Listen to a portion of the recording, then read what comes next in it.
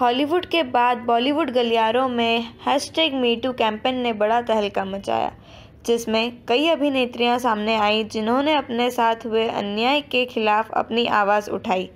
इसके बाद कई फ़िल्म सुपरस्टार पर रेप शोषण जैसे घिनौने आरोप लगाए गए।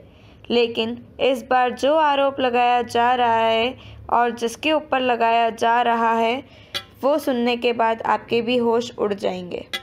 बता दें कि हाल ही में पूजा मिश्रा ने सलमान खान के साथ उनके भाई अरबाज खान पर भी रेप का घिनौना आरोप लगाया है। हद तो तब हो गई जब पूजा मिश्रा ने फ़िल्म इंडस्ट्री के दिग्गज अभिनेता शत्रुघ्न सिन्हा पर भी रेप का आरोप लगाया, लेकिन उसके बाद पूजा मिश्रा ने इस घिनौने आरोप में शत्रुघ्न सिन्हा की पत्नी पूनम सिन्हा को भी घसीट लिया। यहाँ तक कि उनके बारे में बहुत बुरा भला भी कहा।